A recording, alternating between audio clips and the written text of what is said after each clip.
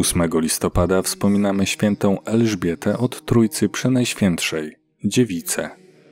Elżbieta Kates urodziła się 18 lipca 1880 roku w Avor, niedaleko Bourges we Francji, gdzie stacjonował oddział, w którym jej ojciec był kapitanem. Dziewczynka była niezwykle uparta i wybuchowa, a na dodatek obdarzona mnóstwem energii. Jej ojciec próbował wychowywać ją drogą łagodnej perswazji. Nazywał ją pieszczotliwie małym diablątkiem. Kiedy dziewczynka miała 7 lat, jej ojciec zmarł. Wychowanie matki okazało się dość surowe. Na dodatek, wraz ze śmiercią ojca, sytuacja finansowa w domu znacznie się pogorszyła, co zmusiło rodzinę do przeprowadzki do Dijon.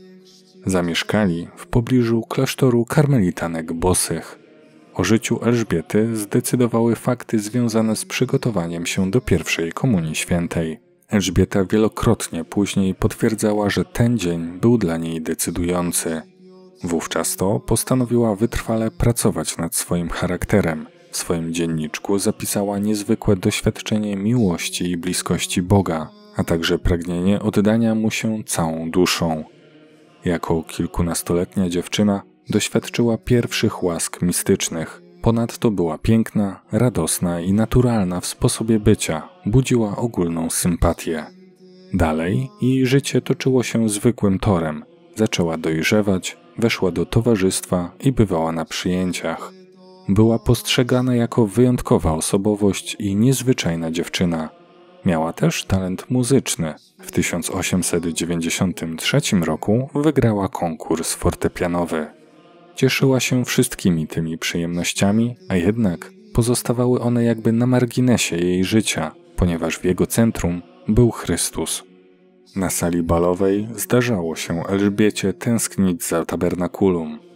Mając 14 lat, złożyła w sercu śluby czystości i postanowiła wstąpić do Karmelu. Z postanowienia jednak nie zwierzyła się matce przez kilka lat. Kiedy to wreszcie nastąpiło, matka Elżbiety zabroniła córce chodzić do Karmelu, ograniczyła jej chodzenie do kościoła i przystępowanie do Komunii Świętej, a postanowienie dziewczyny uznała za wybujałą religijność. Choć z ograniczonym dostępem do kościoła i sakramentów, Elżbieta doznawała nadal łask mistycznych. Zwierzała się z nich jednak tylko swojemu spowiednikowi. W końcu jej matka uległa i wyraziła powściągliwą zgodę na to, by dziewczyna wstąpiła do zakonu po ukończeniu 21 lat. Tak też się stało. W 1901 roku Elżbieta Cates wstąpiła do klasztoru karmelitanek bosych w Dijon. W ciągu kolejnych pięciu lat pracy, modlitwy i głębokiego cierpienia Elżbieta wspięła się na szczyty duchowe. W osiem dni po wstąpieniu do Karmelu przełożona zapytała Elżbietę, jaki jest Twój ideał świętości? Odpowiedź padła bez wahania: żyć miłością.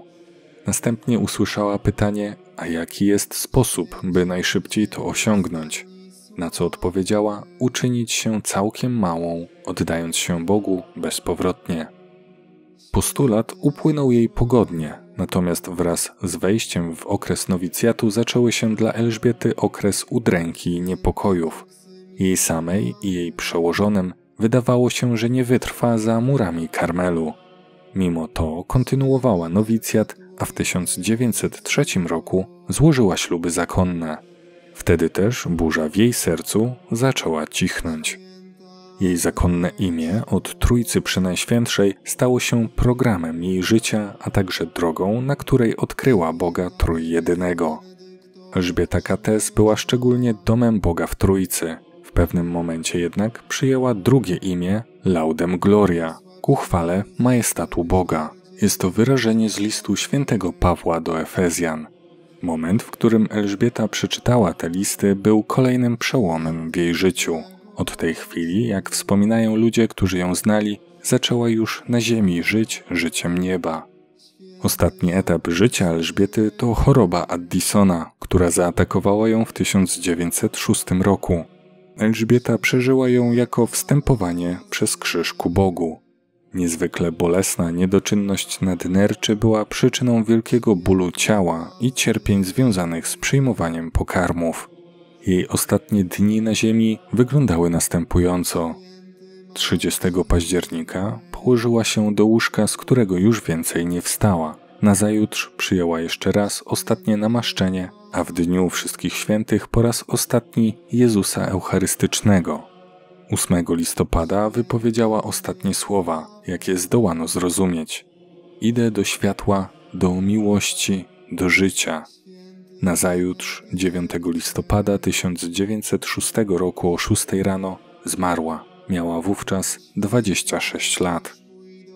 Życie Elżbiety znamy dość szczegółowo dzięki zapiskom jej przeoryszy, matki Germain oraz karmelity ojca Konrada Maestra, a przede wszystkim dzięki jej obfitym pismom, na które składa się ponad 300 listów. Książki dostępne są także na polskim rynku wydawniczym. Elżbieta zostawiła też po sobie wiele modlitw. Jedna z nich, uważana za jej modlitewny testament, zaczyna się słowami: Uwielbiam Cię, mój Boże, Trójco Przenajświętsza. Dopomóż mi zupełnie zapomnieć o sobie, abym nieporuszona i uspokojona mogła zamieszkać w Tobie tak, jakby moja dusza znajdowała się już w wieczności. Oby już nic nie zdołało zamącić mego pokoju, ani wyprowadzić mnie z Ciebie, o mój Ty niezmienny, lecz niech każda minuta coraz głębiej zanurza mnie w Twoją tajemnicę. Napełnij pokojem moją duszę, uczyń w niej swoje niebo, swoje ulubione mieszkanie i miejsce swego odpoczynku. Obym nigdy nie zostawiła Ciebie samego, lecz była tam zawsze cała, cała czuwająca, z wiarą, cała pogrążona w adoracji i cała zdana na Twoje stwórcze działanie. Beatyfikacji Elżbiety od Trójcy Przenajświętszej dokonał papież święty Jan Paweł II 25 listopada 1984 roku w Rzymie.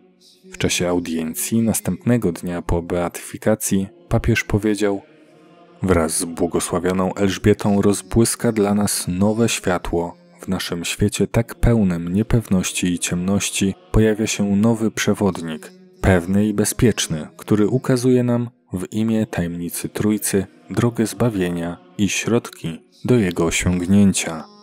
Kanonizacji natomiast przewodniczył papież Franciszek na placu Świętego Piotra w Watykanie w niedzielę 16 października 2016 roku.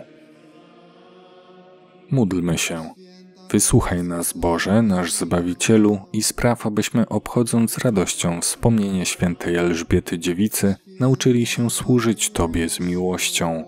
Przez naszego Pana, Jezusa Chrystusa, Twojego Syna, który z Tobą żyje i króluje w jedności Ducha Świętego, Bóg przez wszystkie wieki wieków. Amen.